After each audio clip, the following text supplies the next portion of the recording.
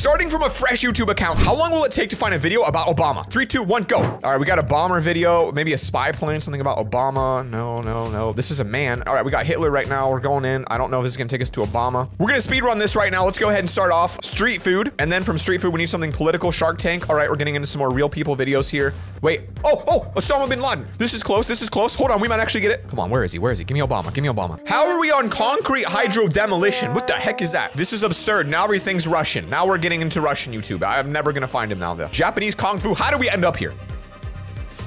This was five clicks, and everything I see is about a steam engine train. Guys, I'm, I'm sorry. I'm taking the DNF. I can't do it anymore. We're too deep into train YouTube right now. There's no escape in this rabbit hole.